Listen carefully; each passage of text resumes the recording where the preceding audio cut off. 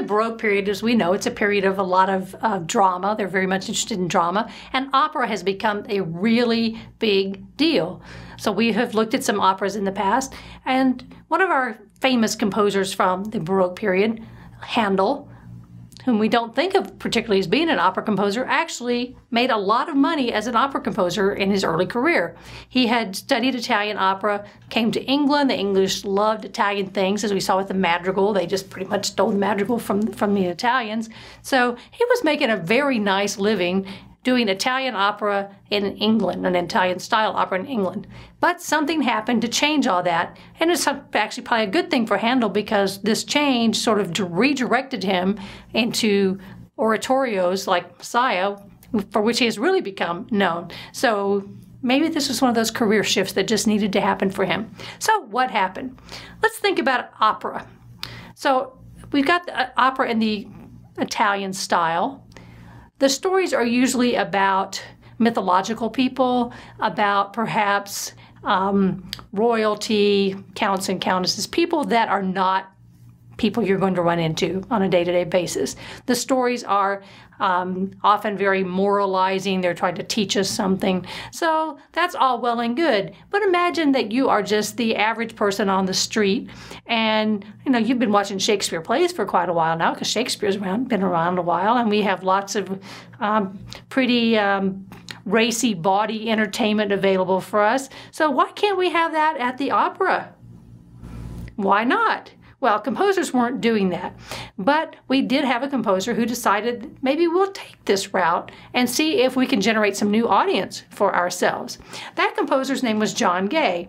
And what he did was to create a story that would be today you, you, know you could make a movie out of it. It's just it's a storyline that's that's timeless, but it's about ordinary people. Now, ordinary is a relative term. In this particular case, these ordinary people are pickpockets and thieves and really perhaps ordinary people. But they're you know they're characters that you would might find in a movie. So he takes these very ordinary kinds of characters puts them into what for at the time might have been real life situations. So they're out stealing from people on the streets and uh, you know somebody goes to jail but there's a love story because you got to have a love story in an opera. So it's putting together all those elements of things that we still like to see in our theatrical productions and putting it into this new context. Well you know he could have done that and used the same kind of music we've been using all along for opera in this period. But what he did that was really smart was to say let's take songs people already know. So he just took what would have been popular ditties off the street at the time. Imagine that today we, did, we were going to make this same story and we would just go to the billboard list, pick our favorite songs off that list, get rid of the lyrics, write new lyrics that tell our story, and put it on the stage. All right, you're an audience member, you go. And you go, huh, I know that tune, you know, you can just sort of hum along and it's familiar to you. So that's what he did. He took popular songs, put new lyrics to them, put an entertaining story to it, and made this new thing. So, what are we going to call this thing? It's not opera in the way that we know it.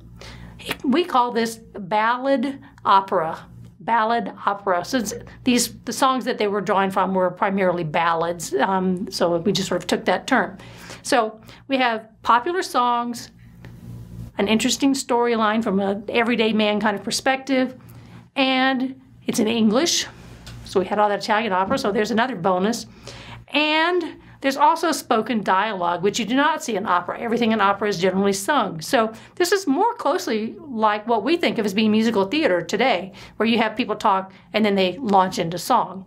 So that's the, the general idea. This was tremendously popular, as you might imagine. This is like, you know, throwing out something brand new uh, and exciting for people to do. So this was the beginning of the end for Handel. Those old-fashioned Italian operas just weren't going to cut it anymore.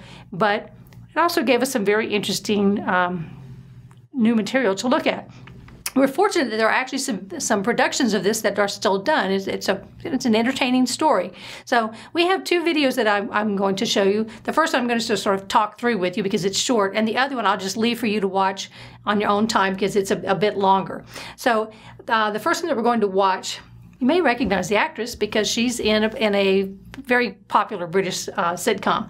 So she is um, an older woman and she's going to be singing when we when we start the clip. And then a younger man's going to come in, and he is um, one of their protege pickpocket types. But she's sing, talking to him about how. Um, you know, he could be a great man. He could make great changes in the world and, and go to great school. So she has ambitions for him, but perhaps her ambitions are really that he just becomes a much better pick up, pickpocket. So let us watch this. Listen to the tune. You'll see that this is something you might actually be able to sing. So you, you see there that the song is really very short. It's it's very much like a little popular tune, like you would just sing as you were walking down the street. And then we have a lot of dialogue, and then there'll be more singing. The other excerpt that you'll see, there's a, a bit more singing, but you can see that the storyline would be interesting. Now, from today's perspective, we need a little translation. We need to know that the Old Bailey is the jail, and we need to know that those are the names of schools. And but but if you look at the the story we're telling, so we have this guy who's obviously pickpocketing and he's stealing everything from scarves to gold snuff boxes. But she's worried about him at the end and she wants him to go practice his catechism so he can do his church stuff properly. So it, it really kind of um, shows you that even the bad people had a moral side to them. So it, it, kind of covers all the bases. They even make a little jab at opera there. Where's he doing pickpocketing? Outside the opera when they come out because all the rich people have the good stuff. So you can see that that would be very popular compared to the operas that we've looked at. And the other excerpt that you'll look at, you will you will meet Macheath, who is the main character of the, this um, story. He is the uh, a highwayman, a person who robs carriages, and so he's higher up on the food chain than pickpockets.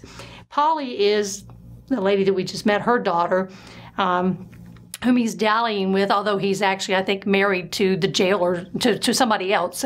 But Polly's father is the jailer who can help get him out if he's in jail. So there's all these sort of tangled webs of deceit between the characters as well. And of course, Polly's a good girl, and he's not a good man.